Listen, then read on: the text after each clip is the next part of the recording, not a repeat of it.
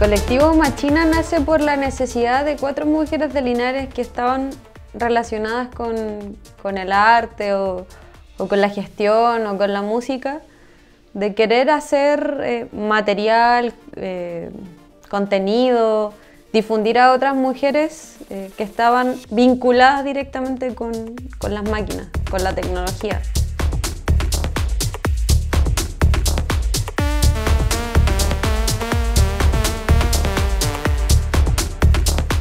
Principalmente nos interesó trabajar juntas eh, y potenciarnos en esto de, crear propuestas artísticas en conjunto en el ámbito de la música electrónica.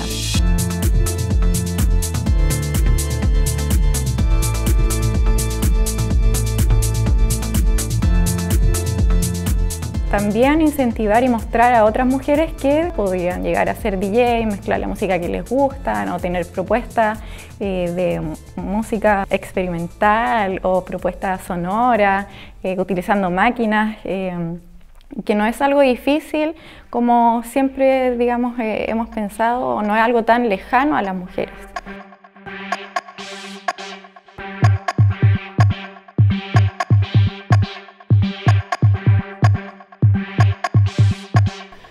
Yo siento que en verdad el, colectivo surgió como una especie de, salvavidas dentro de nuestra ciudad de Linares, porque acá no se da mucho esto y nos dio la oportunidad de reunirnos con otras mujeres con las cuales estábamos compartiendo intereses similares. Eh, por lo tanto, pudimos juntarnos a crear.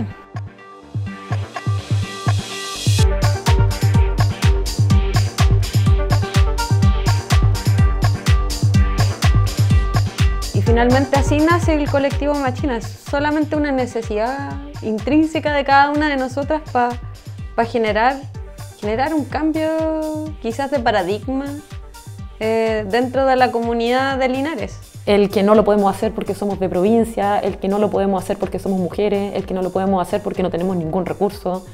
Eh, todo esto, colectivo Machina y todo lo que eh, ello significa es de la autogestión, y, del puro apaño, del puro apaño feminista arriba, el, power, el poder feminista. Em, así que en eso estamos, tratando de, de, eliminar hartas barreras y prejuicios y estigmas que, que vienen asociados al trabajo que queremos hacer.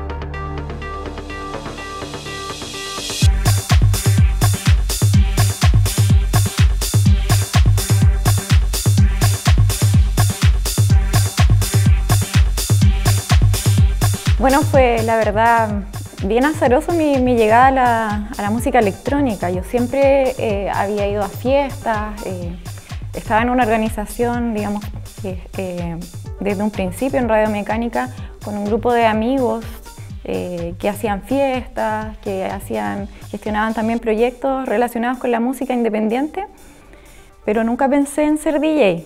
Y una vez eh, un amigo dejó su máquina en mi casa, una CDJ, y en ese entonces mi pareja en 10 minutos me enseñó cómo funcionaba.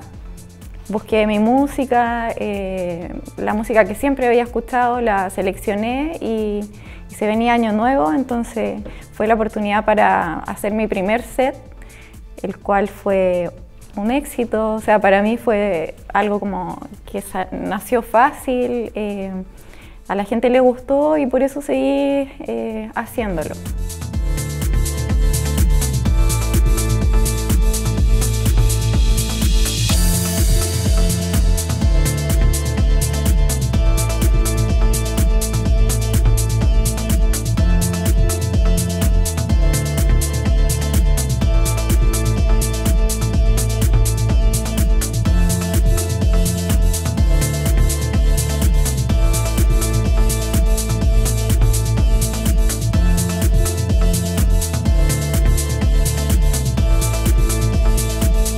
Bueno, mi iniciación en lo que corresponde a las visuales y, que también es gran parte de, se vincula mucho con la motivación que tengo, es porque, bueno, yo de profesión soy profesora de biología. Entonces, eh, el, momento donde todo esto eh, se catilló y empezó fue súper, eh, no sé, quizás un poco chistoso porque estábamos carreteando y estaban proyectando con, con aceititos en, un proyector. Entonces eh, sentí que el conjunto que se estaba visualizando era súper parecido a lo que yo veo en un microscopio en, en, cualquier tipo de corte histológico. Entonces, igual como que me motivé y pensé, chuta, quizás yo tal vez podría, o me gustaría que los demás pudiesen ver lo que yo veo en el microscopio, porque para mí por lo menos lo, lo encuentro fabuloso. Entonces, justo estaba con Aileen y le comenté y me dijo, oye, pero dale, motívate y y, nada, pues empecé de a poco, me empecé a descargar, primero descargando el programa eh, de las visuales, comprándome después equipos de a poco, pero creo que mm, esta vinculación de la ciencia con las visuales, para mí por lo menos, es una motivación eh, tremenda, porque mm, siento que, bueno, inicialmente por nuestro rol como mujeres, tratando de acercarnos a un mundo que siempre está como quizás cuestionándonos o valorando menos nuestro trabajo, es una de, las motivaciones principales, pero además el hecho de ser mujer de ciencia, llevando la ciencia eh, desde cualquier otro ámbito.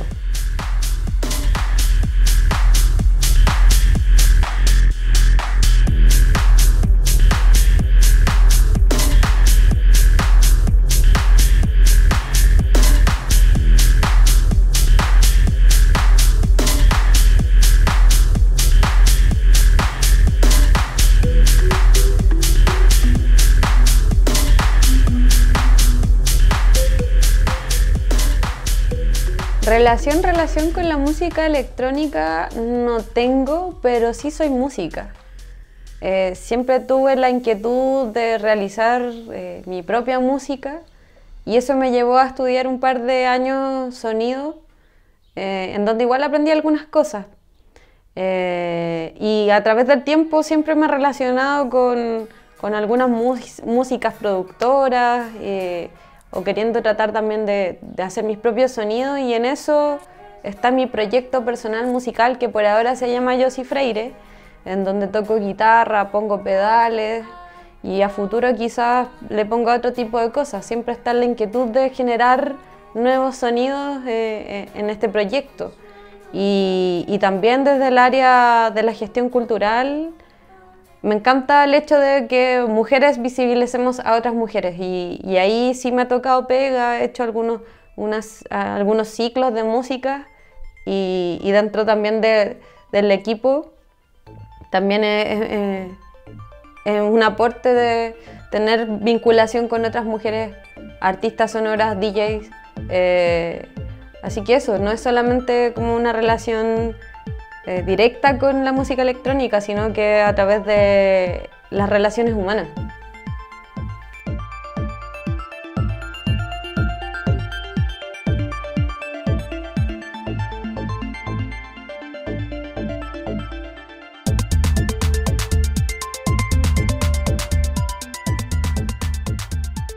Soy profesora de artes visuales y licenciada en artes visuales también.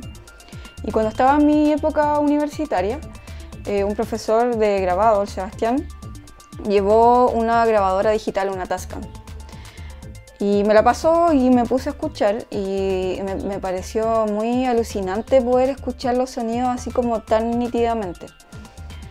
Después de eso pasó el tiempo, salí de la U y trabajé un rato y como un año después de salir eh, me entró el bichito de entrar a estudiar de nuevo y aprender nuevas cosas y siempre teniendo ese recuerdo del sonido. Me dedicaba a grabar soniditos y entré a estudiar em, un diplomado de arte sonoro en la Universidad de Chile, en donde bueno, tuve la oportunidad de aprender bastante, no desde la parte técnica del sonido, sino que desde la reflexión del sonido. Eh, poder crear a través de este material, porque yo lo entendí y, lo entiendo hasta ahora como un material de obra. Me he dedicado más, yo diría, a la experimentación sonora, eh, de hecho, no me considero música, sino que voy experimentando.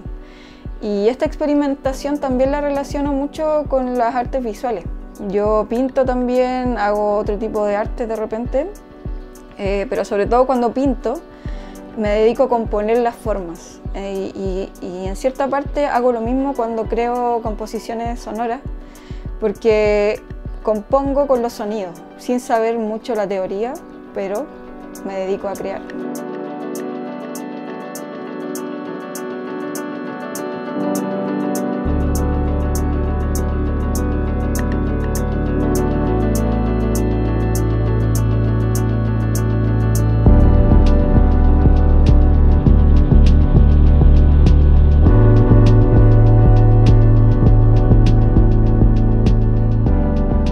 Machina es un producto del colectivo Machina el objetivo principal es visibilizar a las mujeres en la música electrónica, es decir, prácticas realizadas por mujeres ligadas a la música electrónica, ya sean visualistas, DJ eh, o otro tipo de propuestas musicales sonoras. Y la idea es mostrarlo a través de un formato audiovisual, a través de redes sociales también, tenemos nuestra página Instagram, eh, vamos a sacar también eh, la página de sesiones Machina, la página web. Con esta página web lo que pretendemos es poder difundir a estas mujeres que trabajan con la tecnología eh, y no solamente crear material escrito o fotográfico, sino que nuestro punto central o fuerte va a ser la creación de eh, cápsulas audiovisuales en donde ellas puedan mostrar su eh, trabajo, eh, cómo realizan ya sea su música o, otro tipo de elementos que puedan utilizar. Y estamos súper orgullosas de poder realizarlo y sobre todo poder realizarlo desde acá de Linares. O sea, traer a estas artistas de afuera y de acá también y poder mostrarla al país entero es súper interesante y, y súper importante para nosotras, la verdad.